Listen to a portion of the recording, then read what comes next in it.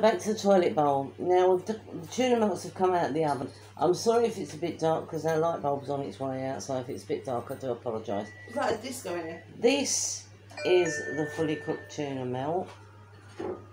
It's it looks like it's toasted, but it's not. It's cooked in the oven, and all the cheese will ooze out like absolute warm tunery deliciousness.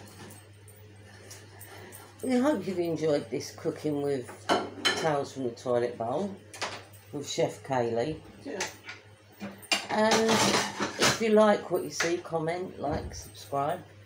We always like subscribers.